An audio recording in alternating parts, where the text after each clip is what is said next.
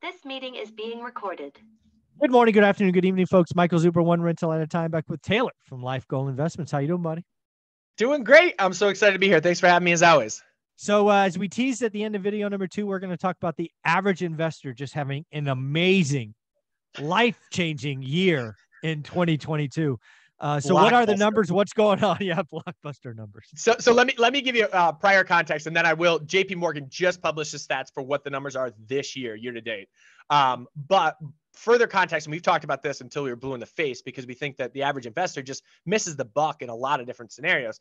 So, the average investor over the last 20 years, on average, has uh, produced a 3.6% return per year. 3.6%. If you look at stocks, bonds, everything, REITs small cap, large cap, it doesn't matter what it is. Everything outperforms that. The S&P was up for that same period of time, nine and a half percent per year.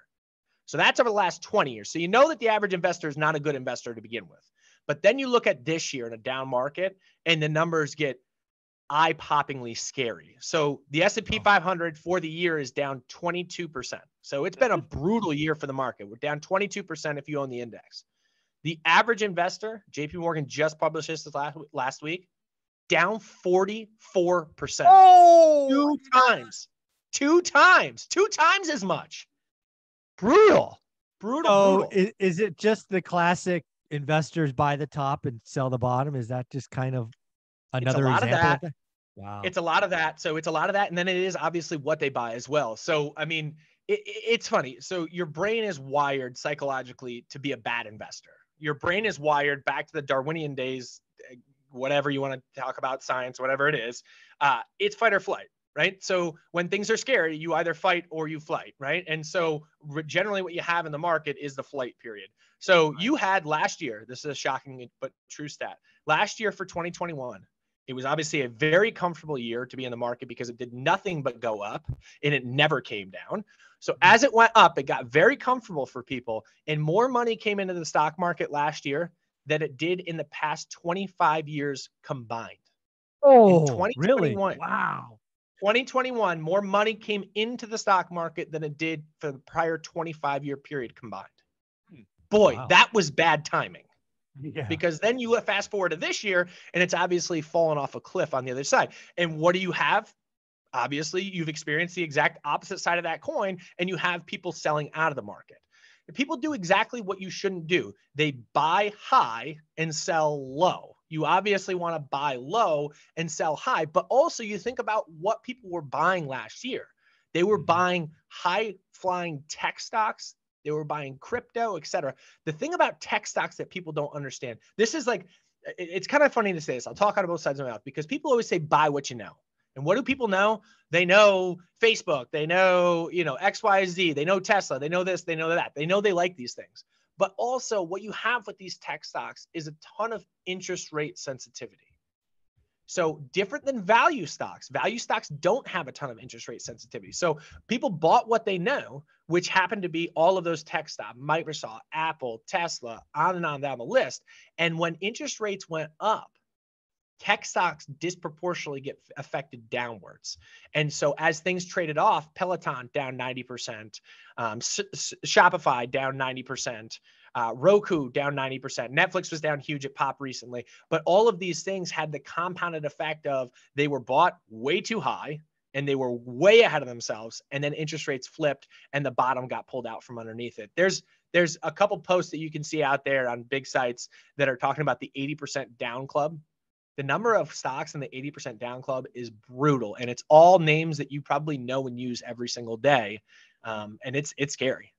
Well the other thing that i thought was really interesting about last year and i put it out on my channel a couple of times and got hate for it was the meme stocks amc bed bath and beyond companies that were, were essentially zombies or bad operators and they just kept banging the market and every time the stock went up uh, they just issued more stock. I'm like you guys don't understand what they're doing. And then then AMC, I remember AMC trying to come to market with more shares, and the shareholder said no.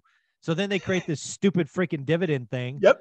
Yep. And I call it out. People are like, "Oh, what are you talking about? You don't know what's going on, old man." Blah blah blah. I'm like, "You guys don't get it. You're just yeah. robbing you blind. Are you not paying yep. attention?" Look back to the 1700s. This played out in tulips, tulip bulbs. You you've heard the tulip bulb case study. Oh yeah, tulip course. bulbs.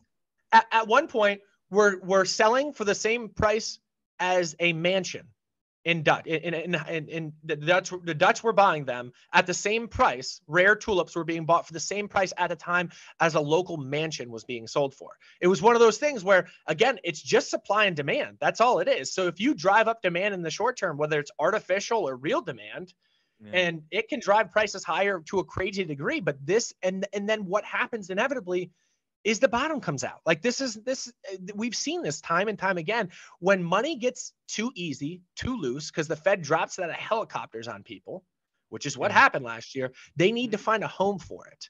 And yeah. the home is not always the most educated home where they put it to work. And this is what we saw play out last year. And it was a it was a, a bang up year on the upside and then all of a sudden you have a bang up year on the downside and the average investor has experienced two times as much downside this year as the S&P 500. It's crazy. I, I, yeah, I don't know if you. I'm, I'm sure you saw it. I don't know if you remember, but you remember David Portnoy yeah. popping off that he that investing in stocks was easy. He's better than Warren Buffett. Warren better Buffett Warren needs Buffett. to retire. He needs to. retire. yep. He was calling him out. Yeah. Uh, yeah, that didn't end well. Did, did, have you seen like the most recent two minute video where they put together a compilation of it? I have of him. Oh, you gotta look it up, man. It is hysterical. So they go through and he pops off like they just like five second segments about how great he is and then all of a sudden 2022 rolls around. He's throwing stuff. He's spiking stuff. Someone texts him. He's like, "Don't text me at the open. This and that." um, so it, yeah, and, and, it, and, it's not like fake stuff. It's it's it's real, like real what life, he has yeah. actually experienced.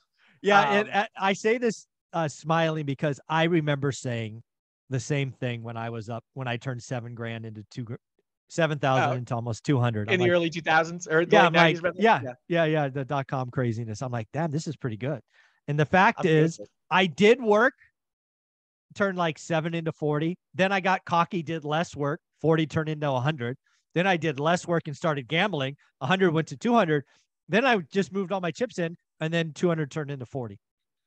Oops. yep. Yeah, that's tough. It's it's funny. So like last year, our company. I deserved it. It's not tough. I deserved yeah. everything. I just no no that that's a lesson in uh, arrogance and stupidity. I I deserve that loss. I thought you were saying you deserve the upside. oh, dude, I deserve the loss. No, I no. Yeah, don't you feel know bad what? You're, for me.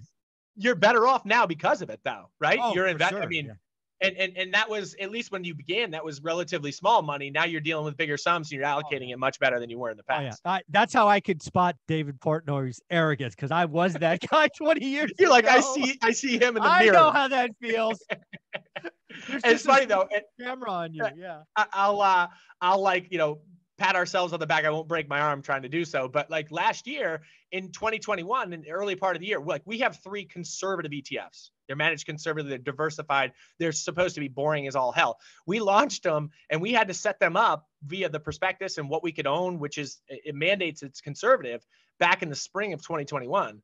And we launched them in the fall of 2021. And people were looking at us like, you guys are morons. We want yeah, crypto. We want tech. We want the last thing we want is boring asset allocation. What are you guys doing? And then obviously this year rolls around, the tide has turned some there, and people are like, okay, now I see what you're saying. There's something called now reversion to the mean. Well, do me a favor. We don't do this. Uh, in fact, I think we if we do it once a month, it'd be it'd be a lot. We don't do. I don't remember the last time we did it. What are the three ETFs? Yeah, so the three tickers are the first one is Life Goal Wealth Builder. That's WLTH.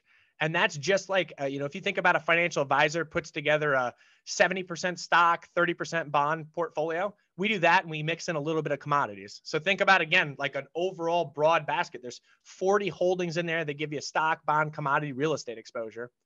And then there's a conservative version of that for stuff that's more intermediate term and time frame, like a place to put cash if you're thinking about something three to five years out, somewhere in that ballpark, is called the conservative wealth builder. That ticker is Savn, S A V N.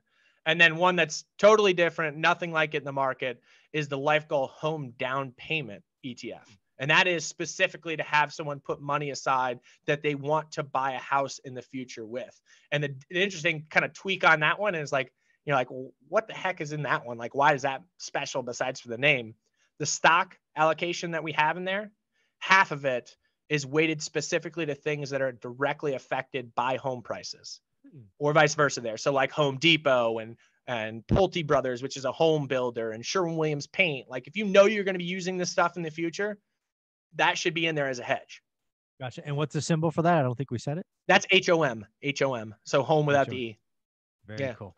Well, this has Thanks been a lot of fun. that. We appreciate it. Uh, yeah, I, we don't do that very often. So you're, you're you come back every week. So yeah, I, I'm happy to do it. So Taylor, where can people follow you on Instagram because you are educating and entertaining people there every day. Yeah, thanks. Uh, hopefully more of the former than the latter, but I am a goof, so there's there's your your your entertainment portion of it. no, find us at Life Goal Investments at Life Goal Investments on Instagram. We appreciate it. Of course, it's a great follow. Let them know you came from one rental at a time. Send them a DM. Thanks. Yeah, they have, they have. So they already have been. People have. So thank you for that. Of course.